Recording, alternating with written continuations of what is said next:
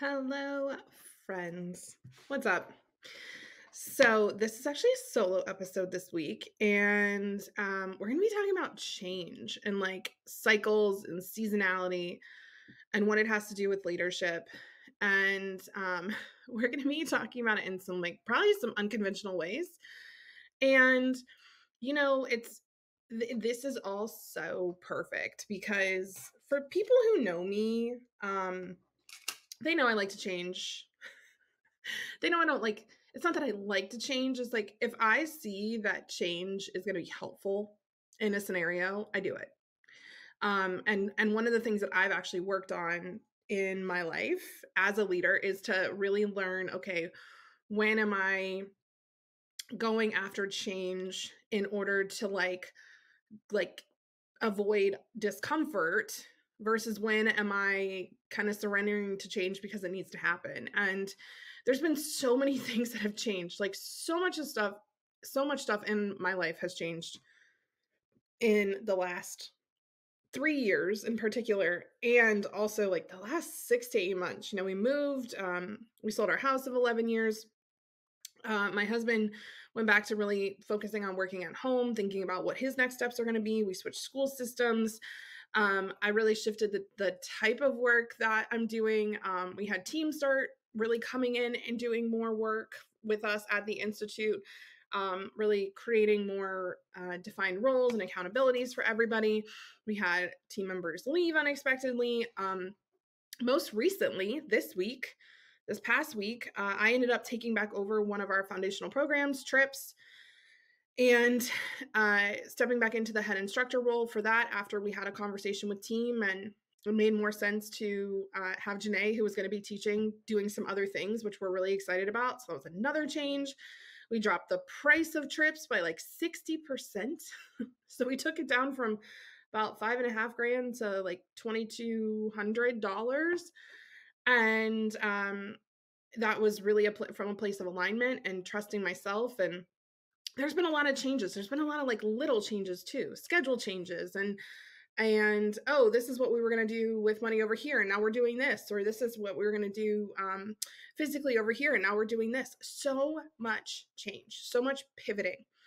And for those of y'all who are new to listening to me or new to our spaces, uh, I I I like forget this too.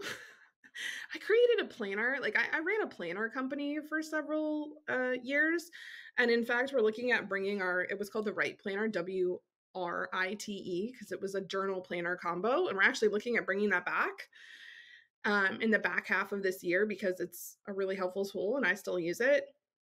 And um, I used to run planning workshops, and one of the things that really was interesting to me as I started my own business, as I left being underneath or led by someone else in terms of my work. So, you know, left academia where I had a boss, left the bedside um, from a nurse practitioner perspective where I had a boss.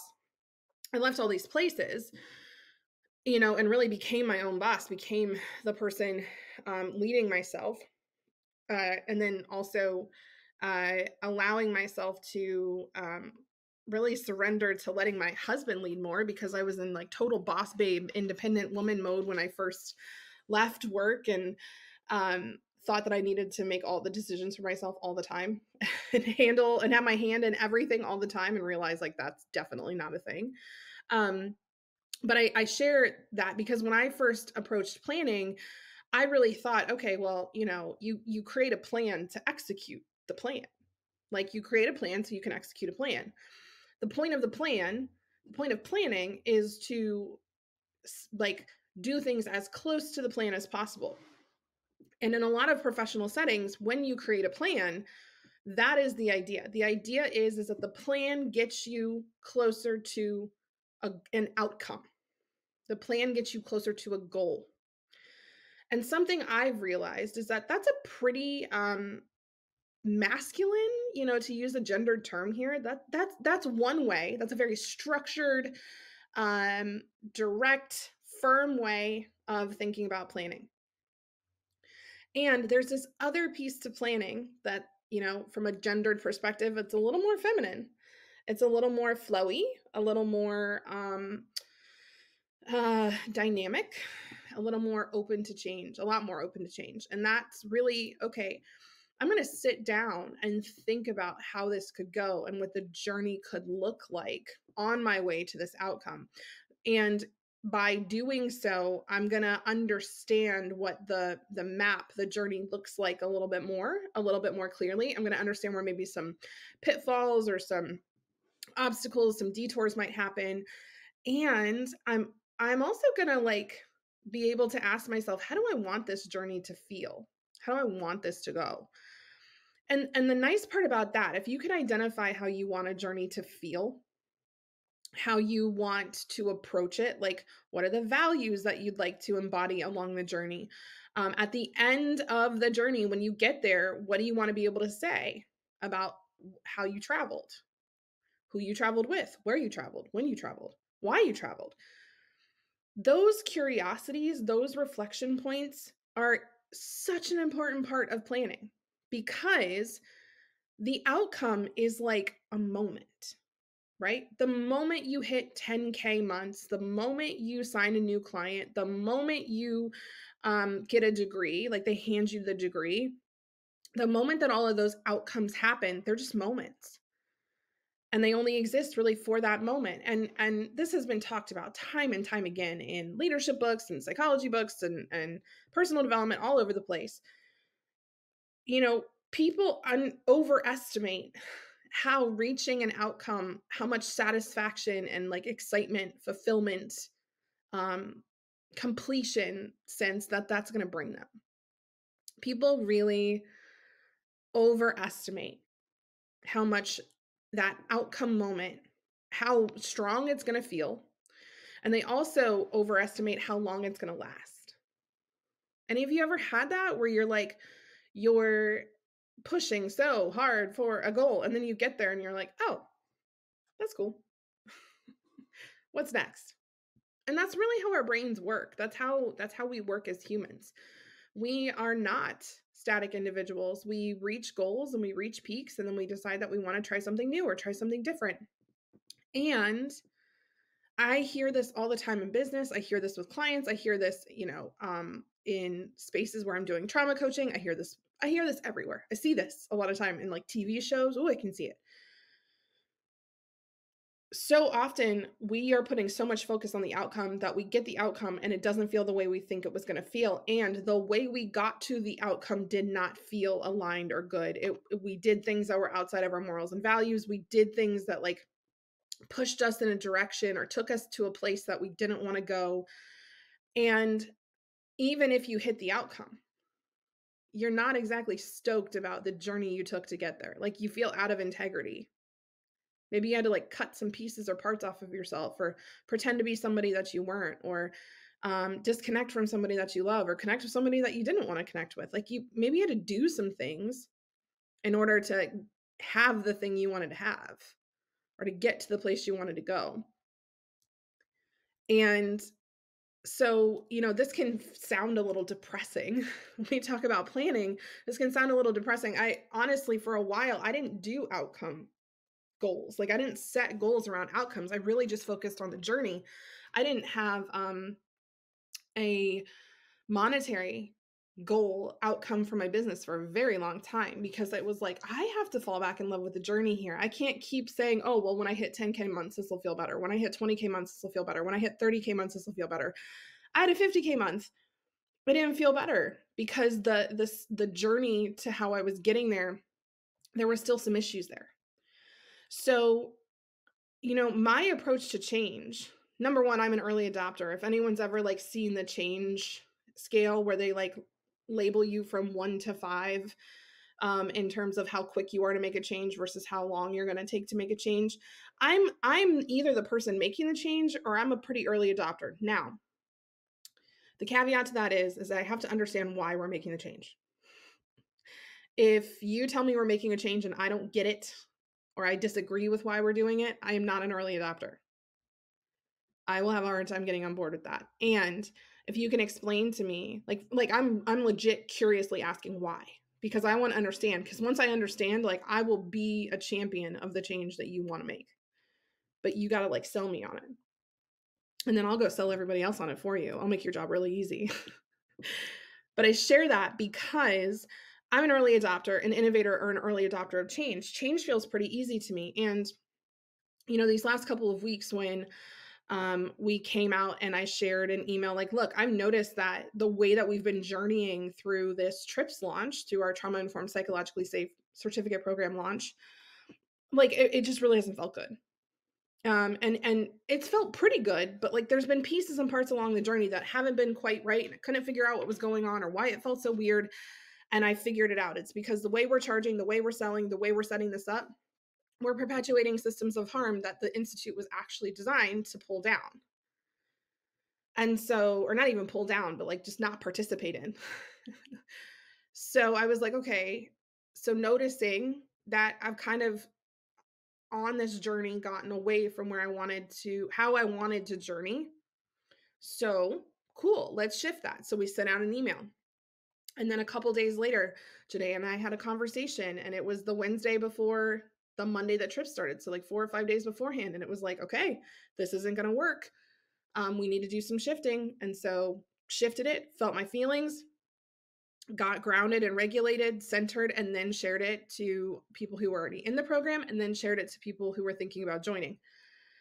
And I got a couple reflections back from people They're like, wow, your willingness to both adapt your plan and also your willingness to like tell us the like how the sausage is being made in the back room and also um your willingness to just own this and not feel shame or guilt around the fact that you're changing things again is like really cool. It's really it's it's it's cool to watch you model that and it reminds me that i can change and there were a couple other like cycles of change going on underneath of this personally for me. So one is it's winter, it's Ohio. The weather's actually been kind of wonky, but it's been, you know, swinging 60 degrees in either direction. Today's 74.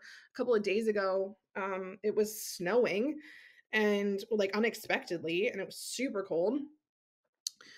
You know, like that's a lot on someone's body. Plus, it's about to be daylight savings time. That's a change and a shift from a body clock perspective. The other piece is is that um, you know, right around the time that we were having these conversations around TRIPS, I was in like my pre-menstrual phase. So like I was 6 days away from my uh the day that my period was supposed to show up. I track that as a woman entrepreneur business owner just as a woman in general it is so helpful to track that because you know our business the professional businesses the way that we run the world it's actually built on the male hormonal cycle the 24 hour cycle. It's built on the day cycle. And for women um, those of us who are bleeding like that is not the cycle we follow. Yeah, there's a 24 hour day for like our cortisol and for a lot of our, some of our hormones, but other hormones in our bodies follow a 21 to 35 day cycle, an average of 28 days. Um, there's also the se- seasonality happening in the world as well. So there's other cycles, there's other change um, uh, seasons that get to be considered in our planning if we're not just running business like men. And for the men out there who are listening, like if you were never taught any of this, it's cool. I wasn't taught a lot of this from a, a cycle perspective until like a few years ago. And it was such a profound shift. And actually teaching this to my husband and teaching this to my son and to my um, my other two kiddos who have um, periods like that in our house like they the kids understand. People understand that like uh six days before for me that day that is when i am the most emotional that is when i am the most tired and then it gets a little better slash hang steady for the next five to six days and then i start feeling a little less emotional and then usually by like day three or four of my period i'm like oh okay cool I'm feeling better. My energy's back. I want to work out. I can lift heavy. Like yesterday, I was in the gym busting it out. And my male trainer was like, Oh my gosh, like you're beasting it today. And I've shared this with my male trainer. I'm like, Look, you're going to get a different version of me depending on what week of the month it is. And not like first of the like first week of the month, not March 1 through 7, but my month, my 28 day period. So like when we talk about planning, right? I'm having to have these really hard conversations while I'm also hormonally in one of the most challenging times. And so, like, being able to know, okay, hey, the overarching way that you want to journey in your life is like, look, if we need to make a change, we make a change. If we need to cancel a call, we cancel a call. If we need to shift something, we shift something. If we need to add something on, we add something on. I have stopped making myself wrong as a woman, as a mom, as an entrepreneur, as a wife, as a human for the fact that I have cycles. I have cycles. I have a cycle living in Ohio where the winter is harder. I have a I have my own hormonal cycle and our business has a cycle too. So at the institute we take off um, several weeks in in the year and those include in July and in December. And the reason behind that is seasonally that makes a lot of sense. July is like the height of um, summer where we're playing and having fun and like you want to just be on break and december is like around the solstice the winter solstice.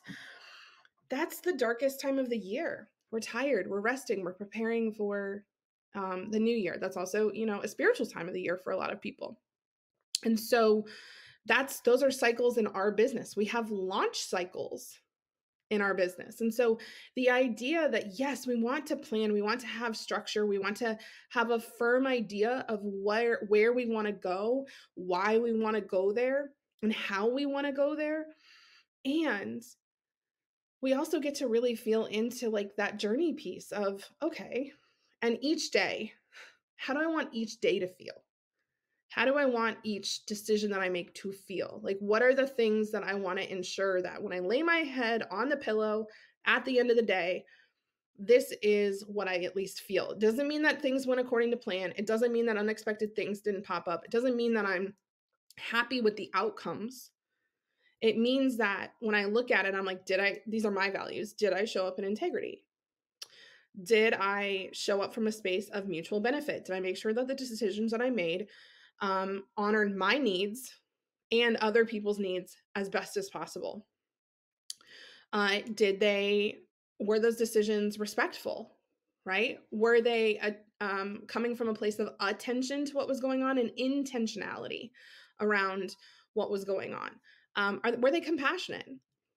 Like, did I make them with love? Did I treat people as people, as humans, instead of looking at them as transactions? Did I treat myself like a human instead of looking at myself as like a productivity machine?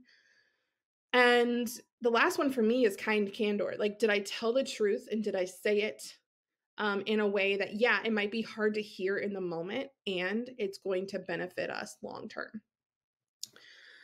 So I wanted to share that because, you know, one of the most unprofessional things, one of the things that I was taught was the most unprofessional is like, you shouldn't cancel things. You should, you know, stick to your schedule no matter what. You should um, do the same things every day. Like, y'all, if you're out there and there are, you've, if you're particularly a woman or you were socially conditioned or like raised as a woman, a lot of y'all, and or if you have like female hormones, a lot of y'all were taught a lot of you have have been conditioned by society to believe that since you have um just be that like you may have those hormones or you may have that conditioning socially and you're still supposed to operate in these ways over here that are like based on the 24 hour cycle. You're not supposed to take time off. You're not supposed to plan your business meetings around your periods. You're not supposed to um, you know, plan your launches or or uh, let your kids know what's going on with you when you have your highs and your lows. Like you're not supposed to do that. You're supposed to just like keep it as even keel as possible. And um, that's what we do professionally, right? We don't let people know when we're struggling. We don't let people know when we're having a rough um, mental health or physical health day. Like we don't let people know when there's something else that's taking up our capacity.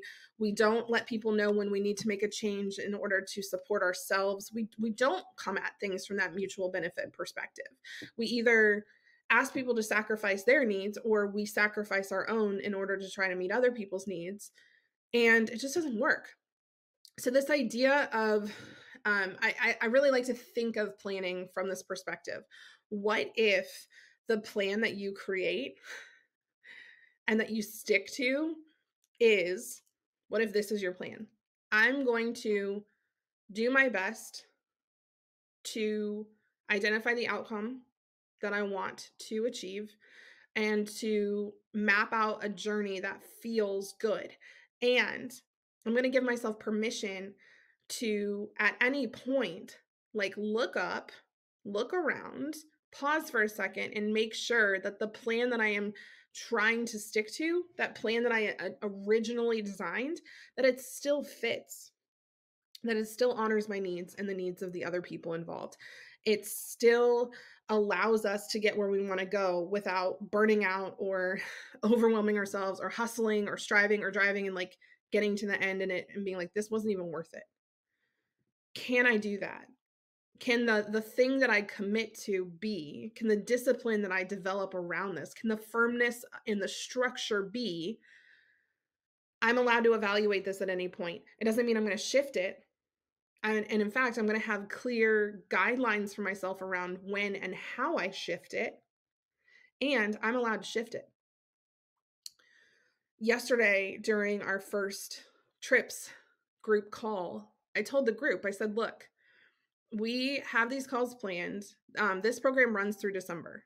Um, I've had five days to look at my schedule and like get get these calls in what I think is the best place for us. So I have planned this out through August. And then by the end of May, I'll get you the calendar for the rest of the year. The reason behind that is it's my kid's school year. Our lease is up in August here. I am and and we're planning on renewing it and things change. So I said, hey, the plan is that we know our dates until August and then in a couple of months once we have a better idea, a better picture of what's going on, we'll add more to the plan. The other piece is, I told them, I said, look, I ask myself before every call if I have at least 80% capacity, and I know what 80% feels like for me. If I'm below 80%, I'm going to reschedule our call. And the reason behind that is you're paying me. You are paying me to show up and to deliver. You are paying me to show up at full capacity. And the idea that I'm going to show up when I'm 30% or 50% and like phone it in, that doesn't serve me and that doesn't serve you. I used to have to do this when I was a nurse and as a nurse practitioner. I remember one shift, nobody could cover me. And I knew I was like 95% sure that I didn't have anything contagious, but I worked in bone marrow transplant. Nobody could cover my shift. It was a 19 hour shift, and my office, my on call room, had a bed and a desk and a couch. And it was right next to a bathroom. And I had like a stomach virus. I think I had food poisoning. I was in that bathroom for like 14 hours of my shift. I was answering pages like like sitting on the floor or laying in the bed. No one should have to do that no one should have to show up and work when they are 30 to 40% of their capacity because they have to. I can guarantee you that my patients didn't get the like they were all safe and they got like I worked with my colleagues to ensure that I kept my patients safe. I want to be very clear about that. In fact, um, I worked with another nurse practitioner who did the physical exams on my patients that night just to ensure that I wasn't coming into contact with them. And how often do we do that to ourselves, especially those of us who are our own bosses? How often do we push ourselves to work when we are like really tired? How often do we not allow ourselves a 15 minute break? How often are we taught? And if you think about this, going back to our school system, you got to get a bathroom pass, and sometimes they don't even let you go. You have to ask to get a drink of water. You have to eat when they tell you to eat. You stand when they tell you to stand. They, you sit when they tell you to sit. You go outside for recess when they tell you to go outside for recess. They're training you. They're training you to go, it doesn't matter what you need. This is what you're supposed to be doing. And that is helpful to a point. in a lot of careers and also we've we've as a society really started to create such strict boundaries and guidelines and plans and policies and procedures around how we do things to the point that it is starting to cause harm it's starting to cause harm right why did we not have a policy with a backup person on call why was it yep there's only one of you and if you can't work like somebody else has to pick up 30 extra patients. It's not safe at all. So either come in sick or someone else is going to be completely overloaded. Figure it out. These this type of planning and this idea that we just push through. This idea that it's unprofessional to change your mind or it's unprofessional to say no it's unprofessional to set a boundary it's unprofessional to even talk about these things. It's unprofessional to talk about the fact that you have a period, Lee. Okay, well, I'm allowed to talk about the fact that I have hands or that I have a nose or that I have kids. I'm allowed to talk about the fact that I hurt my hip. I'm allowed to talk about the fact that I have a migraine. I'm allowed to talk about the fact that, you know, I tweaked my knee running. I'm not allowed to talk about the fact that I have cramps. I'm not allowed to talk about the fact that I'm tired or emotional. I'm not allowed to talk about the fact that I feel dehydrated or bloated. Like why why are these conversations not allowed to be happening? why do I have to pretend that I'm okay when I'm not? Or why do I have to pretend that my capacity is different than it is? The whole idea of muscling through in order to hold someone else's standard. Do we want to keep doing that? That actually seems pretty unprofessional to me. That doesn't allow me to move in my zone of genius. That doesn't allow me to help people to the full extent because if I could take a couple of hours to take a nap, or if I could postpone this call for a day, or maybe we have next week off when we're supposed to meet today. So instead, we have this week off when we meet next time. Like, that's the helpful thing to do. And in case you doubt me, because right now, this would be hard to do in our current system. So if you're like, Lee, I don't even know how to do this in our current system, like, we can talk about it. I'm happy to help you. And a lot of you are leaders. Like, y'all are the ones who get to actually start modeling this for people. And you showing people this can have a profound impact on your organization. In fact, and I'll share this for you because a lot of y'all are like, no, I would get fired or this would happen, or like people would just think I was the worst, or, you know, people would think that I wasn't as hard of a worker or I didn't like really care. For those of you who are worried about that, I cannot tell you how many times when I've gone to cancel a call or I've gone to reschedule something that people are like, oh my gosh, thank you. I was actually really not feeling good. or I had something else come up and like I was hoping we could reschedule today, but like I was just going to go ahead and do it because you know, it was on my calendar and I didn't want to seem unreliable. And I'm like, do you want to know when I find people to be really reliable? Is when I trust that when they're there, they're there. When they show up, they're at full capacity or close to it. They're going to be able to be present with me. They're going to be able to pay attention. They're going to be able to be intentional. They're going to make good decisions.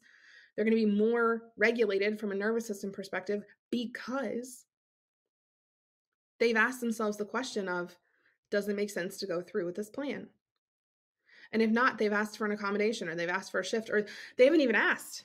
This is what I do. I don't ask my clients anymore if I can cancel a call. And by the way, if you're like, oh my gosh, how often does this happen? Very rarely.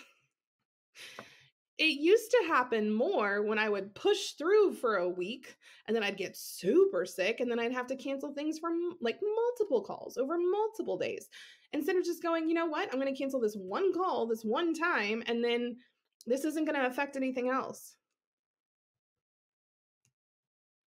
But people will come to you and say, Wow, thank you for modeling this. Thank you for showing me that this is okay.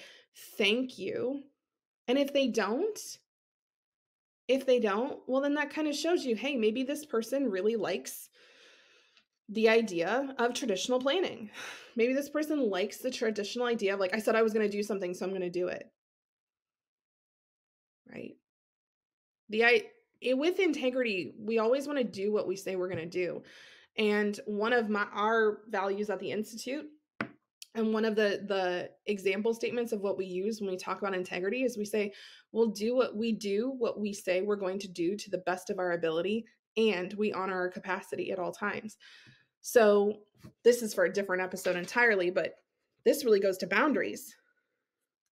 If you're having to change a lot of things unexpectedly, and this is a place that I've always had to remind myself if you're having to change a lot of things unexpectedly or cancel or reschedule or do those things, are you saying yes to too much? Are you not honoring your own cycles? Are you not honoring your own seasonality? Are you not honoring your own plan and how you want the journey to feel? Because that's probably more of what's going on.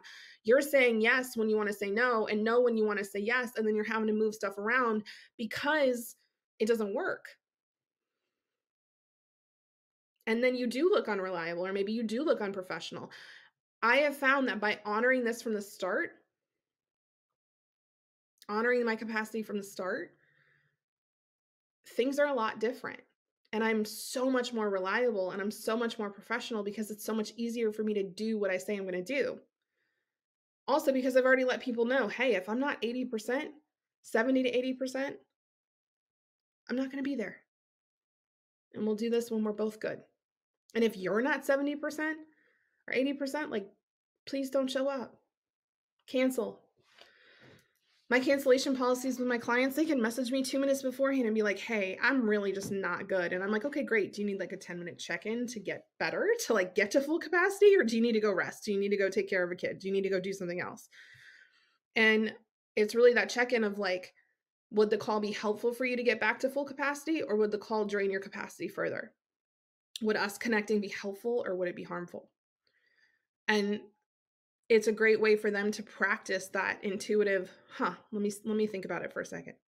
Yeah, no, this is what I need. If you are a leader, entrepreneur, business owner, parent, like y- y'all know at this point, I think already that I see everybody as a leader because you can lead yourself at the bare minimum and you feel like your capacity is never 70% or like your capacity used to be your your cup used to be the size of a i don't know um, a 64 ounce jug and now it's like a thimble. Then we've got something coming for you. And i'm not going to talk about it quite yet. I'm going to talk about it next episode. And if you've been looking for something in person, if you've been looking for something to help recharge your energy, your capacity to maybe put down some things that have felt really heavy or weighing on you that are also hindering your capacity, if you have been wanting to really like honor your own desire for change and your and start to plan in a different way both in your personal life and in your life, you know, leading out in the in the world, whether it's in business or an organization or wherever, um, we've got something for you in November. It's coming. And um, I'm going to tease you a little bit and not tell you all about it quite yet. So I say all that to say if you're listening to the podcast today, guess what? This wasn't a 10 minute episode. And this is one of the changes I decided to make. My solo episodes aren't going to be 10 minutes and I'm going to sprinkle these in every so often when I feel like it. And so if you like that, great. If not, and you just want to hang with the 10 minute episodes, that's cool. You can do that. And I missed this part. After doing five episodes of the podcast, I was like, oh, I miss my solo episodes where I just talk and say the things. So I'm going to bring those back in. That's what we're going to do. And that's me being professional. That's me going, hey, I'm noticing that in order for me to continuing to in order for me to continue wanting to do this podcast, in order for me to con- to continue to desire this, having the podcast to be an outcome that we see come to fruition over and over, the journey gets to feel really good for me. And what feels really good for me is not trying to limit a solo episode to 10 minutes on the podcast or trying to record a 90 minute YouTube show by myself. And it's also not having a guest every time because sometimes that doesn't work out because other people's lives change. Other people have capacity things. So um, you're welcome if that feels good for you. And if not, you can just skip these episodes and you can go listen to the other 10 minute ones with my guests. Okay. Either way, there's something here for you. And so um, you get to make that choice, right? You get to now adapt your plan around listening to our podcast or watching the YouTube show. Like, okay, well, now what do I want to do? This thing happened. Now what do I want to do next? And that gets to feel good for you. So I love you all. We'll see you next episode. Have a great rest of your day.